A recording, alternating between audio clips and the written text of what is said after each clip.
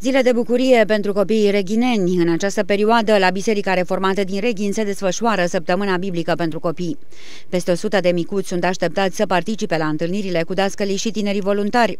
Astfel, cei mici vor învăța zilnic lucruri noi despre cele mai importante momente biblice. Tema întâlnirilor este alegerea dintre bine și rău.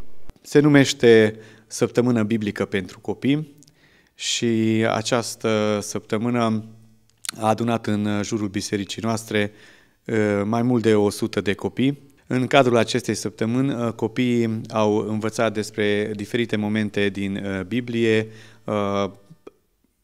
povestiri care sunt la nivelul lor. Micii reghineni au parte de numeroase momente distractive, de spectacole de teatru de popuși, toate puse în scenă de tineri voluntari. Copiii sunt foarte încântați și vin cu plăcere la aceste întâlniri.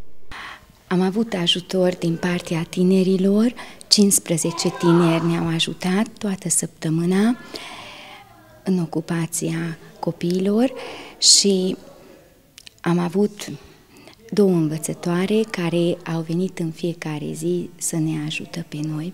Ne pare foarte bine că copiii au venit cu inimă deschisă, sunt plini de dragoste și de iubire. Săptămâna Biblică pentru Copii este o activitate cu tradiție pentru Biserica Reformată din Reghin.